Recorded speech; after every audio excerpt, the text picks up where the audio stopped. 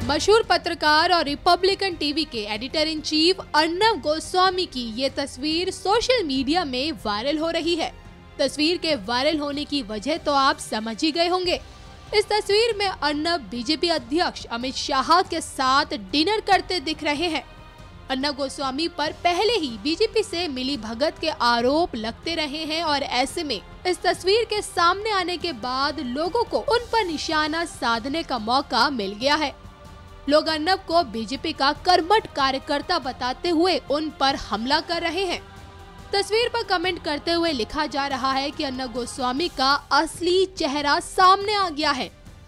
कुछ लोग social media पर कह रहे हैं कि ये तस्वीर सब कुछ बयां करती है तो वहीं कुछ लोग सवाल पूछ रहे हैं कि कोई अर्नब को कैसे निष्पक्ष पत्रकार कह सकता है?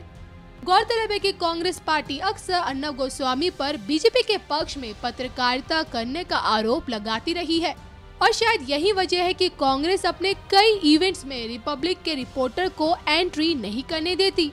लेकिन फ़िलहाल इस तस्वीर के सामने आने के बाद अर्नब ही लोगों के निशाने पर है। न्यूज़ एक्सप्रेस की रिपोर्ट।